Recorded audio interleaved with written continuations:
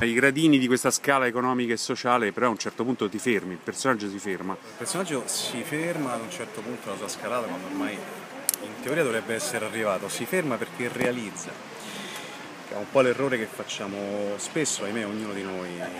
Pensiamo di non stare nel posto giusto, nella, nella situazione giusta, che la nostra vita sia sbagliata, che c'è qualcosa che non va, che qualcosa potrebbe andare meglio. E questo è quello che pensa lui. Lui in realtà Mauro parte da una condizione nella borgata in cui tutto sommato è, è più che felice perché è innamorato di sua moglie, interpretata da Giulia Bevilacqua nel film.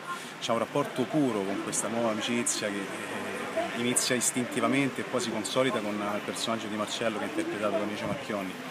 Però lui idealizza questa felicità, la vita facile, lui la idealizza come la felicità assoluta lassù dove cerca di arrivare e dove arriverà, quindi a un certo punto lui si ferma perché realizza che probabilmente non ci ha capito nulla della sua vita, che tanto valeva, come dice Siti nel libro, accontentarsi delle borgate, dove quantomeno c'era la realtà, la reale felicità della propria esistenza. Abbiamo parlato della tua compagna è la prima volta che hai fatto, facevi un film con lei, ma l'avevi già conosciuta prima? Sì, sì Giulia Bevilacqua, noi abbiamo fatto tre anni di centro sperimentale insieme, che, sono stati tre anni importanti. Tra l'altro la nostra classe ne dovreste conoscere tanti, c'era Alessandro Roia, il nostro stesso compagno di corso, Valentina Ludovini, Alba Huovac, se non ricordo male si pronuncia così, Alba Rohrwager.